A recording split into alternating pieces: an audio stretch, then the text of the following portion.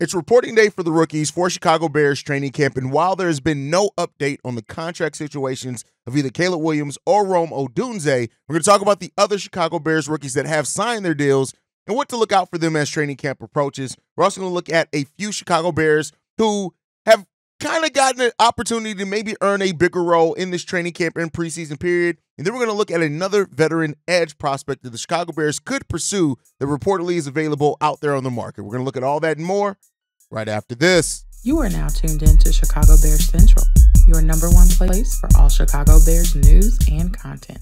What's going on, Bears fans? Welcome to another episode of Chicago Bears Central, your number one spot for everything Chicago Bears related. I'm the host, Derek Hayes, but more importantly, you guys can follow the channel at Chi Bears Central on every social media platform we happen to be on. With that being said, let's go ahead and get into this content for today, y'all. So, have no official updates in regards to Caleb Williams and Rome Odunze's contracts. I'm going to kind of give maybe a daily update now that we're leading the training camp. Again, no real worry or concern to that and since the Bears aren't really taking the field for a full practice until Friday, but the rookies are reporting today, and there's some other rookies that we can look at. We already know Rome Odunze, Caleb Williams contracts. We already know the guaranteed money that's well, the, the money that's going to be there.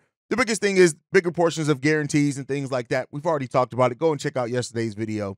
But with that said, the rookies that still do need to report, uh, well, they have signed their contracts, and Kieran Amegadjie, Tory Taylor, and Austin Booker all have expectations as well for them coming into the season. When you look at Kieran Amegadjie specifically, he's a player that didn't really get to participate a lot in the offseason program due to a calf injury that was healing. But from what we've heard, he's going to be a full go on practice on Friday. He is fully healed. And with some of the doubt on the Chicago Bears offensive line, there is an opportunity for Kieran Amegadjie to uh, uh, carve out a role for himself. The fact that he can play either tackle or guard in the league as well. Now, they may end up determining a specific position they want him to play at, but Kieran Amegadjie, even as a rookie that is still raw, has a lot of upside. And we've we've seen the Bears not shy away from playing rookies on that offensive line before that still have some rawness to the game. Braxton Jones being one of them, right? So I'm not saying or expecting Kieran Amegadjie to come in and necessarily overtake anybody for a starting role or anything like that. But he is a player to watch out for in this training camp period because if he's healthy and he lives up to even a portion of that upside that the Chicago Bears saw in him, we could see quite a bit of snaps for Kieran Amegadjie, especially in this training camp and preseason period as well, as they're really trying to take a look at everything. And he could ultimately earn himself uh, uh, the right to play a bunch of snaps for the Chicago Bears once the pat once the real games are going on in the regular season. But Kieran, overall, it is a long term pick, right? This is an upside pick by the Bears, but considering the flexibility, injuries that always are going to happen on that offensive line as well, and the fact that we still, as of right now, which it could, we we this could be debunked as early as Friday. We don't know what the status of Nate Davis is going to be for him to practice and things like that in training camp. Kieran Amegadjie could have a a chance to earn himself something. And you know, overall the season, we know that we have an offensive line, and every offensive line in the in the NFL has its injury uh, times and players missing a few games or something. So Kieran's one to watch. And then Austin Booker. Austin Booker at a position that you know, if we are going to say any position that the Bears did not address, right, was the edge position. They really didn't go out other than drafting Austin Booker, um, and you know, bringing some some veterans in that could be depth pieces. The defensive edge position is pretty much the same as where it left off last season, minus Yannick Ngakoue not being on the roster. Yeah, He wasn't on the roster in the lat. Well, he was still on the roster, but he wasn't playing games for the Chicago Bears at the end of last season. So I I've been saying for a while that I expect the Bears to really be looking at this edge position between Demarcus Walker, between Austin Booker, Dominique Robinson, to really see how confident they are before they go out and potentially bring back Yannick or bring back another a veteran edge or bring another veteran edge, I should say, rather than bring back, bring in another a, a veteran edge to uh to maybe shore up that position a little bit. So Austin Booker is a player that you know the upside there. What they said that he had like third round potential and things like that. The rawness is what really kept him from going seemingly from going higher in that draft. But the combination of size, speed, strength, and with a uh, a defensive line, uh, well, defensive uh, uh, coordinator now, and Eric Washington, who's been a defensive line coach for his career, how he likes to rotate that defensive line in and out. Austin Booker's going to have a lot of opportunities, but it starts with training camp, and especially him reporting Tuesday with what shape he's in, all that type of thing. but Austin Booker is another one. And then Tory Taylor. I mean, he's going to be the starting punter for the Chicago Bears. He could be a one of those overlooked pieces that I I I just assume Tory Taylor, despite injuries or anything like that, in case something like that pops up, he's going to be the Chicago Bears punter for probably in the next decade, right? That's just the way that it shapes up.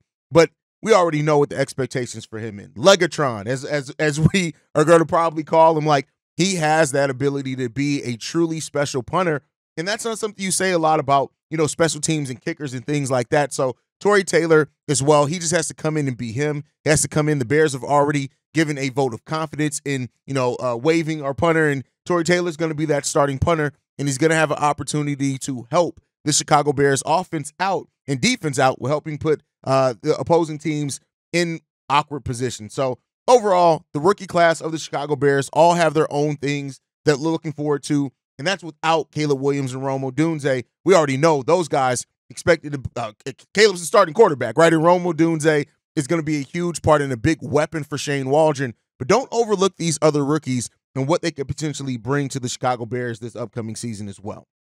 Now, with that said, training camp is always uh, offers a unique chance for a player to maybe step up, maybe shine, maybe show how they how they worked on their game and their body and things like that from the from the ending of last season to this season. So I want to talk about some of the players that I haven't spent a lot of time talking about in this offseason, but that could end up earning or playing a much bigger role than expected for the Chicago Bears this upcoming season. And the first one that I want to talk about is one of my favorite position groups for this team, and that's Terrell Smith. Terrell Smith didn't get as many opportunities as a Tyrique Stevenson or Kyler Gordon last year, but he's going to be a really big, important part. I look at Terrell Smith as somebody who he's a perfect complement, that fourth cornerback to come in because he can do a little bit of everything. Now, he was battling for Tyrique Stevenson at last year around this time to see which one of them was going to be the other starting cornerback. Tyrique Stevenson ends up winning that out and having a really good rookie season. But Terrell Smith is a was a very good effective cornerback last year for him. When you look at the production over it, like whatever it was, whether Johnson or, or Stevenson weren't in the game or whatever else, he had really good games. When you look at his starts against Washington and Minnesota last year, um, he had really good uh, performances in that. Matter of fact, through three total starts last season, Tyrique Stevenson had 23 tackles, one pass breakup, and one forced fumble. Ty- I, see, Ty- I said Tyrique Stevenson. Terrell Smith had 23 tackles, one pass breakup, and one forced fumble as well.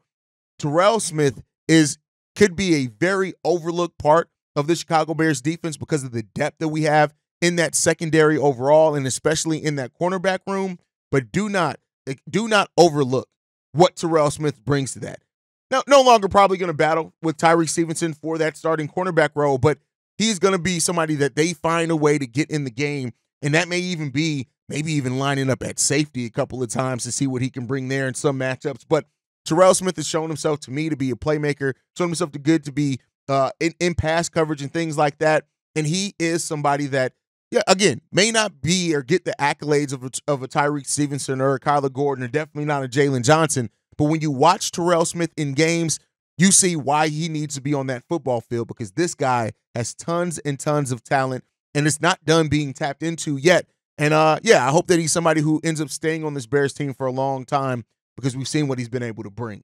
Another guy who was a part of that same rookie class that I want to talk about, who didn't really have a lot of opportunities last year, and that's Noah Sewell, right? Noah Sewell, who was looked at as kind of a steal at where he got drafted in the in the fifth round, right? People really looked and understood what he was going to bring, the bloodline that he came from, and he was at one point seen as somebody who had first round talent before his final season in college. But he ended up going in the fifth round to the Chicago Bears in that linebacking group that inclu- includes Jack Sanborn, um, um, TJ Edwards, and Tremaine Edmunds. Uh, and so that group, what it brings, it didn't really leave a whole lot of opportunity for Noah Sewell. Now, he played primarily on special teams last year.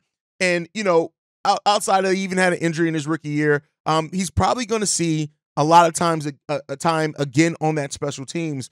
But for him to come into this training camp and make it interesting, and again, I'm not saying any type of thing of Jack Sanborn not being here, but when you look at Noah Sewell, he is somebody that could uh, uh, has the potential to end up picking up some of those snaps, especially if Jack Sanborn misses some games or something like that. So really look at uh, that. He's going to be in there with Amen Omegadjia. I, I always mispronounce his name as well. uh, for somebody who can also come in on that special teams, play that defensive uh, uh, position as well. But Jack Sanborn is in a contract year, and that's one of the contract years we don't talk a lot about is Jack Sanborn's contract year. But Noah Sewell is a guy that I do expect to play a much larger role than what he did last year. But even if he just thrives on special teams, Noah is a name that we could hear a lot next season as well. The next guy I want to talk about is uh, the the other defensive tackle that we drafted last year, and that's Zacch Pickens. When you look at his numbers last year, 20 tackles, one tackle for a loss, only a half a sack. But when you look at how he played, when you look at the tape and breakdown and things like that, Zacch Pickens has a whole lot of potential. And while I do think it's a vote of confidence for uh, this uh, for both him and Gervon Dexter, the fact that they didn't bring in any other veteran defensive tackles, he's going to get a whole lot of more opportunity paired with Eric Washington, who loves to develop guys on that on that defensive line and who likes to rotate guys in and out. I think Zacch Pickens is going to have a really big opportunity to earn himself some snaps and play well in those snaps as well. So don't overlook Zacch Pickens. I think that he's easily going to play a much larger role than what he did last season. And I think the growth and development that both him and Gervon Dexter have is going to make it kind of easier on those edges as well. So really look out for for Zacch Pickens to and what he does in training camp, how he takes advantage of the opportunities both there and in the preseason games. And then lastly is going to be a name that I know a lot of people aren't going to expect me to talk about, but that's Dominique Robinson. Much like when I talked about Austin Booker in the last segment, Dominique Robinson is at the position that the Bears didn't do a whole lot of addressing as far as bringing in outside talent. Yes, if the if the Bears do look to get a veteran edge, Dominique Robinson is definitely somebody who could be on the bubble for the Chicago Bears team for sure. And he and new competition is there with him in Austin Booker and Jacob Martin, who are going to be fighting for those opportunities. But reportedly, Dominique Robinson has really changed his body from the end of last season. He's bigger, um, and it looks like he's he's gotten quite a bit bigger, which could help him kind of more so muscle his way through some of those offensive linemen in the NFL. And so Dominique Robinson understands what he's fighting for. He is fighting for a roster spot here. Make no mistake about it. He is on the bubble, and he is one of these players that if the Bears do bring in a vet, I expect Dominique Robinson to be cut. But if he can come in and at least get back to showing that ability as a depth piece that he showed in his rookie year, we could be talking about Dominique Robinson kind of, you know, playing a larger role. He has a offense, a, a defensive coordinator now that is going to believe in those defensive linemen, that is going to want to rotate those defensive linemen a lot. And so it's up to Dominique to earn that role, that next step for him.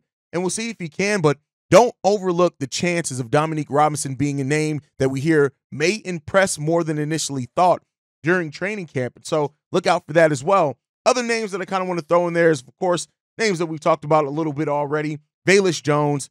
I, I just it's going to be an interesting training camp for Velus, right? Because again, much like uh, Noah Sewell, he's going to be primarily on that special teams first.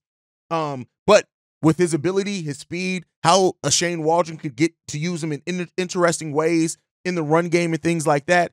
If Velus Jones just comes in and shows that he is ready and can hold on to the ball, those type of things, we could be talking about a much different season and outlook for Velus Jones. I'm just not ready to bet on it. I know a lot of Bears fans have thought like the new kickoff rules could be something that benefits him. I've always looked at it as saying I don't know if it necessarily benefits him as much as some people with not having that extra time to generate and get up to full speed.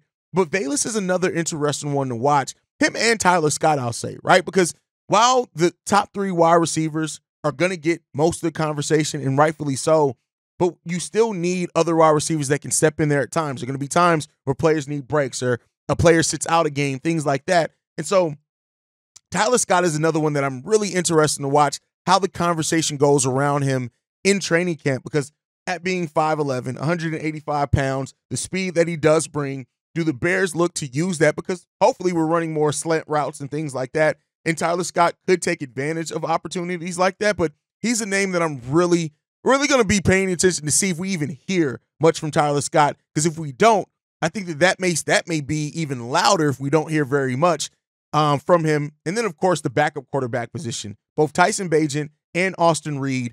And like I've said before, um, I know Tyson Bagent. I know the Bagent baddies love love Tyson Bagent, and you still get uh, uh you know some some Bears fans that hope he's going to be, which is weird. I hope he's going to be the starting quarterback. But Brett Rypien is somebody who's a veteran who knows the system. If he makes the team, if he doesn't make the team, whatever.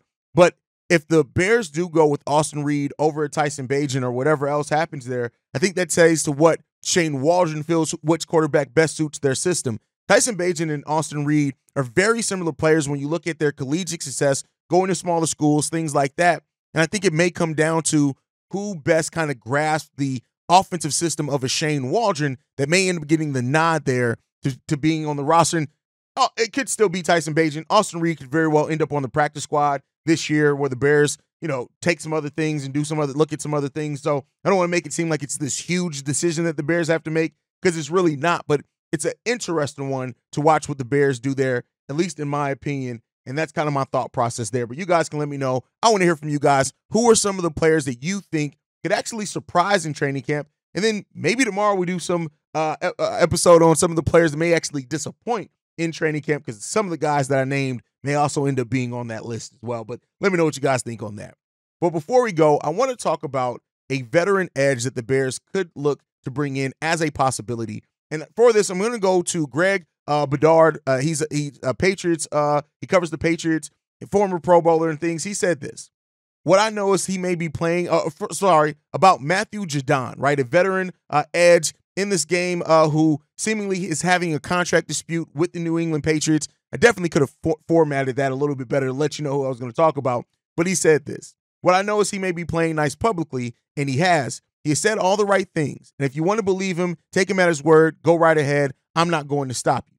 What I can tell you is from the people I've talked to, he's not going to play under his contract, at least for the Patriots. I can't talk about any place else. That's my understanding. I don't know exactly what's been communicated to the team, but that is my un- uh, understanding. Now, Matthew Judon, in a, in a case like this, is honestly somebody who only has one year left on his deal when you look at the money. That last year of his contract as well isn't huge. It's $6.5 million. It, but it's a cap hit of $14 million with the signing bonus as well. Could the Patriots take on some of that money? Things like that. But it is a deal that the Bears could very well look if they aren't confident in that um in the edges that they have here in Austin Booker, Demarcus Walker to be able to bring the pressure that they want. Matthew Judon is a player that I wouldn't mind the Bears taking a look at. He's somebody that is still productive. He's 31 years old. You're not attaching long term kind of risk there. You're giving a, a, year of maybe Austin Booker to develop or find your edge next season. This is a guy who last year, in only uh, four games played, still had four sacks. And if you look at the last two seasons in 2021 22, he played all 17 games and he had 12 and a half and 15 and a half sacks, respectively, in those seasons as well. This is a guy who can still absolutely produce for you while maybe even being a mentor to your young edge in Austin Booker. Yes, you still have that in Montez Sweat as well, but you kind of know what he's going to bring if he's going to stay healthy and be on the field.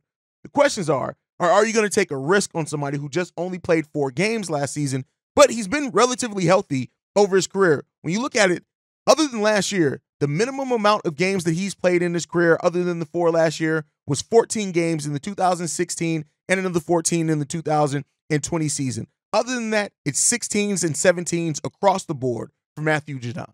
And I think in this team that, and I talked about it yesterday, you're no longer just a rebuilding team. You're now a team that's still building and developing, but it is a team that you're trying to get wins. This would be the type of move to me that would signify that you're bringing in somebody who is a veteran there, 6'3, 270, that can absolutely get to the quarterback. The question is, is health. And if you look at that question, which Ryan Poles would do is do all the due diligence on making sure this guy is going to be able to stay healthy.